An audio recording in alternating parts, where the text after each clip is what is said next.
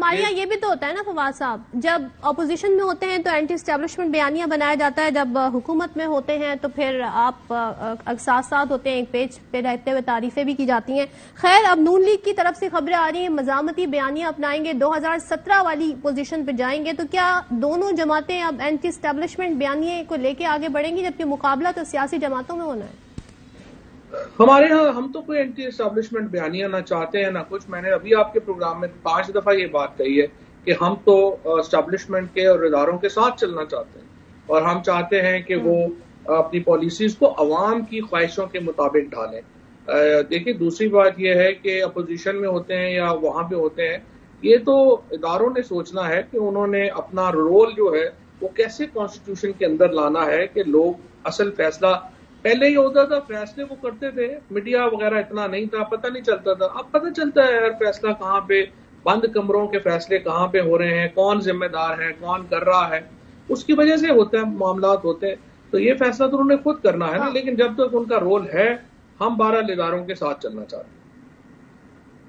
अच्छा और कल इमरान खान ने एक इंटरव्यू दिया जिसमें वो ये कहते हैं कि नवाज़ शरीफ को सजा दिलवाने में एक अहम शख्सियत ने किरदार का उन्होंने ज़िक्र किया। ये वही बात है जो नून लीग का बयानिया है। क्या हम इसे तहरीक इंसाफ का एतराफ समझे, फवाद साहब? बिल्कुल भी नहीं। जो इमरान खान, देखिए आउट ऑफ़ कॉन्टेक्स्ट अगर बात को कोट कर दिया जाए तो कुछ भी ऐसा लगेगा। जो खान साहब ने बात की थी, इमरान खान ने बात की थी, वो ये कही थी कि जो पैनामा केस में जो तफ्तीश थी, वो मुमकिन ही नहीं था कि वो इतनी कम्प्रिहेंसिव होती और इतनी अच्छी। और अब भी अगर आप गौर करें, इमरान खान बार बार ये बात करते हैं कि इदारे जो हैं, वो अगर एहतसाब के अमल में और इनके ऊपर मदद करेंगे तो पाकिस्तान की ये बहुत बड़ी एक जो इस वक्त पाकिस्तान से जो मनी लॉन्ड्रिंग है स्पेशली उसको रोकने में इदारों का रोल बड़ा इंपॉर्टेंट हो सकता है। और इमरान खान इसके हामी है कि मनी लॉन्ड्रिंग को रोकने के लिए इदारों का किरदार होना चाहिए। और उस वक्त भी जो नवाज़ शरीफ की, की सजा थी या जो तफ्तीश थी वो बिल्कुल मेरिट के ऊपर हुई थी। साढ़े तीन साल तो ये केस सुप्रीम कोर्ट में चला उसके बाद ये ट्रायल कोर्ट में चला। ओपन एंड शट केस है। हर आदमी को पता है इवन फ़ील्ड डिपार्टमेंट इसमें कौन सी कोई ऐसी छुपी हुई बात है कि नहीं वो साबित करने वाली बात है। अभी भी नवाज़ शरीफ कहाँ मीटिंग्स कर रहे हैं? उनकी फैमिली कहाँ है? मरियम नवाज़ कहाँ रहती है? अब सुने कि कोई अंदर किला शिला ले रहे हैं बिकॉज़ यहाँ पे सारे पाकिस्तानी पहुँच जाते हैं। रोज उनको दोबारा बोलिए। जरा इसी पे क्योंकि इसी पे इलेक्शन के शेड्यूल के हवाले से और लीगल कवर के हवाले से गुफ्तगु करते नज़र आ रहे हैं हमें। लीग के रहनुमा क्या कहते हैं? ख्वाजा आसिफ जरा ये सुन लेते हैं। नवाशी साहब तो हमारा इंतज़ार कर रहे हैं ना कि हम उनको जो लीगल कवर को ऐसा प्रोवाइड करें जो जो उनके साथ नाइंसाफी हुई है इंसाफ की उनको गारंटी दें कि हम यहाँ पे हुक्मरान हैं, पर हमारी हुक्मरानी के दौरान जो है वो ये नहीं कि कानून को तोड़ा मोड़ा जाए या अकलिया से कुछ खुदा नखास्ता जो है वो वो फेवर ली जाए, जिस तरह माजी में होता रहा है। तो ये ये इस किस्म की सिचुएशन से हम जो है ना थोड़ा सा मोहतात हैं, जिसकी वजह से डिले हो रही है। जी, फवाद साहब, इस पे क्या कहिएगा? ये लीगल कवर अगर जिसकी बात कर रहे हैं खाजा से गुफ्तु कर रहे हैं या जावेद लतीफ साहब गुफ्तु कर रहे हैं, ये आप लोगों के लिए काबिल कबूल है? देखिए, बात यह है कि अब तक जिस तरह कानून को तब्दील करके 1100 अरब रुपए का बेनिफिट दिया गया, जिस तरीके से ये ख्वाजा आसफ खुद भी, आपको पता ही है कि बतौर वज़ीर दफ़ा, वज़ीर खारजा दुबई की कंपनी से पैसे लेता रहा और ये सारे लोग बुनियादी तौर के ऊपर तो एक डाकुओं का एक ग्रोह है, जिसके सरगना नवाज़ शरीफ है और वो बाहर बैठा हुआ है। अब ये कहते हैं कि ऐसे हम सुप्रीम कोर्ट को भी, अदालतों को भी और कानून को इन्होंने मोड़ लिया है। कल इस्लामाबाद हाई कोर्ट ने एक बड़ा तारीखी फैसला दिया है, जो मीडिया पे तो इतना नहीं चल सका। उन्होंने कहा, ये जो सारी ये बरियत हो रही है, ये भी बरियत नहीं है। उन्होंने कहा, आपको कोर्ट्स में जाना पड़ेगा अदालतों का ये फ़र्ज़ है और सुप्रीम कोर्ट ये नैब का केस भी सुन रही है कि वो इन लोगों को ट्रायल कटहरे में लाएँ और इनके केसेस के मेरिट्स के ऊपर फैसले होने चाहिए। टेक्निकल जस्टिस मांग रहे हैं ये लोग। ये कह रहे हैं हमारे पैसे जो हम बाहर ले गए हैं वो आप भूल गए और हम दोबारा शुरू करें। हाँ। ये एनआरओ टू यही है ना।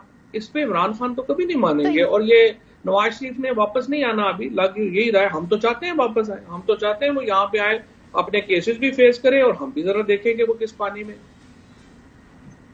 अच्छा तो वो तो तैयारी कर रहे हैं फवाद साहब। मरियम नवाज़ साहिबा आ रही हैं डेट भी सामने आ गई है मुहिम चलाएँगी और फिर ज़ाहिर है माहौल बनेगा तो नवाज़ शरीफ तो आएँगे इलेक्शन के लिए। ये तो आ, उनके रहनुमा कहते नज़र आ रहे हैं हमें। सदर मेरा ये ख्याल है आप तो छोटी बच्ची होंगी जब इन्होंने पहली बार ये कहना शुरू किया है कि वो वापस आएँगे वापस आएँगे। अब तो लोग, बच्चे जो हैं, वो पैदा होके बड़े हो गए हैं, जब से नवाज़ शरीफ साहब ये कह, और मरियम ये कहना शुरू हुए हैं, कल आएँगे कल आएँगे। उनकी बीमारी जो है, वो खत्म नहीं हो रही ऐसी यूनिक बीमारी है, जो सियासी हालात के साथ उनके प्लेटलेट्स ऊपर और नीचे जाते हैं, और पूरी कौम को बेसिकली तो बेवकूफ़ समझते हैं ये लोग। तो अगर हम इतने बेवकूफ़ हैं तो फिर ठीक है। अदरवाइज़ तो ये देखिए ना, नवाज़ शरीफ और ये दो तीन मीडिया हाउसेस के साथ मिलके इन्होंने उस वक्त भी ये बयानिया बनाया और ये सारे चोर चक्के मिलके इनको ले गए और आप फिर यही बयानिया बना रहे हैं। अच्छा तो ये जो बयानिया होगा फवाद साहब, इसमें ये आपको ज़ाहिर नथी करेंगे। सारी सूरत हाल में ये कहते हैं, आपके ये फैसले थे जो आज माशी सूरत हाल है और जो सारा पाकिस्तान में यानी स्टेबिलिटी का मामला है, आदम इस्तेकाम का मामला है। तो इस बयानी के लिए आपकी तैयारी किस तरह की है? ज़ाहिर अभी तक तो आप लोग मैदान में हैं मरियम नवाज़ साहबा चली गई थी। अब वापस आएँगी तो एक नई तैयारी के साथ आ रही है फवाद साहब। तो ये जो बयानिया बनाएँगे कितना स्ट्रॉन्ग सब... हम्म। मरियम नवाज़ हो नवाज़ शरीफ हो ये सारे लोग इरेलीवेंट हैं। इस वक्त पाकिस्तान के अवाम इमरान खान की क्यादत में एक तरफ़ खड़े हैं और देख रहे हैं कि इदारों ने अपनी जो सोटी जिसके ऊपर ये लोग बैठे हुए हैं वो कितनी देर और इनको दी रखनी है। नहीं रह सकते।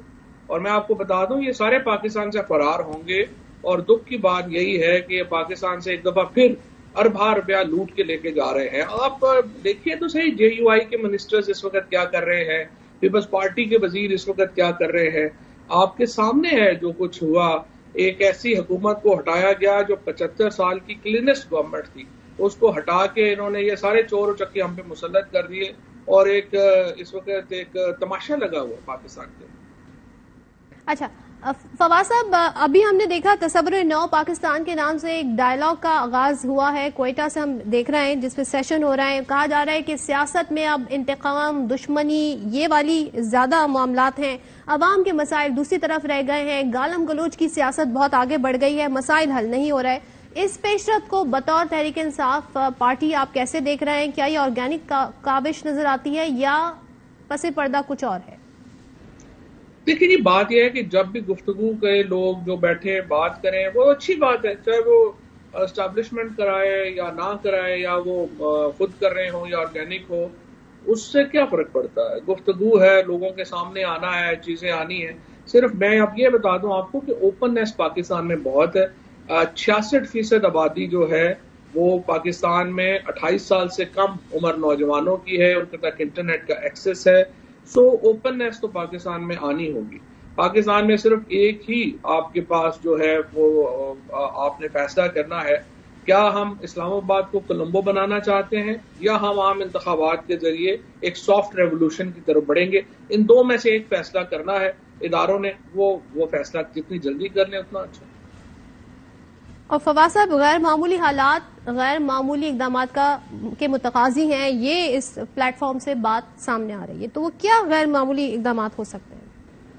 देखिए, एक तो होता है ना कि जिन लोगों को लोग जॉब सीकर होते हैं, नौकरियाँ चाहिए होती हैं, वो ये बातें कर रहे हैं कि पाकिस्तान के लोगों को तो पता नहीं है, गैर मामूली हालात है, लोग तो बेवकूफ़ हैं, इनको तो पता ही नहीं फैसला क्या करना है। लिहाजा बंद कपड़ों में जो फैसले करने वाले हैं, उनको ही मौका दिया जाएगी जी वो दोबारा दो साल रह लें। यानी हुए बीमार जिसकी सबब उसी अतार के लौंडे से दवा लेते हैं।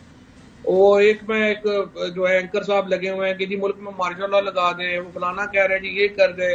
ये तो तमाशा बना हुआ है। ये सारे नौकरियों की तलाश में पूरे अपनी दो किलो गोश्त के लिए पूरी भैंस जबा करना चाहते हैं। पाकिस्तान का तमाशा इन्होंने बनाया हुआ है। और अनफॉर्चुनेटली ये पाकिस्तान में हम इस वक्त लोग हैरान हैं कि ये, पाकिस्तान के लोगों को कितना इरेलीवेंट समझते हैं इस सारी इक्वेशन में। हालाँकि फैसला पाकिस्तान के लोगों ने करना फवाज बिलावल भुट्टो ने मखलूत हुकूमत की तरफ़ उन्होंने इशारा दिया है कि आगे ये भी बन सकती है, जिसमें वो इस उम्मीद का इजहार करते भी नज़र आए कि वो भी वज़ीर आज़म हो सकते हैं अगर मखलूत हुकूमत होती है। तो पीपल्स पार्टी आमतौर पर जब इस तरह की गुफ्तु करती है तो ज़ाहिर उनकी कोई तैयारी होती है, कुछ उन्होंने ऐसी मामलात उन्होंने बिसात बिछाई हुई होती है। तो ऐसी सूरत हाल में आपको क्या इम्कान दिखाई देता है इनके इस दावे का? बिलावल भुट्टो का बयान तो एतराफ शिकस्त था ना। बिलावल भुट्टो ने यानी आपको बता दिया है कि हम तो जीतने की पोजीशन में ही नहीं है। देखिए ये तेरह पार्टियाँ मिलकर इलेक्शन लड़ेंगी इन तेरह पार्टियों को शिकस्त होगी इनशाला क्योंकि इस वक्त जो तरीके इंसाफ और इमरान खान का जो इस वक्त चागी से लेके और खैबर के पहाड़ों तक और पेशावर से लेके कर, कराची तक और लाहौर से लेके गिलगित बल्तिस्तान और मुजफ्फराबाद तक एक ही शख्स है जो पाकिस्तान को जोड़ता है, और उसका नाम इमरान खान है। और इन ताला ये एक पार्टी हमारी जो तरीके इंसाफ है, वो इन तेरह पार्टियों को मिलके धूल चटा देंगे।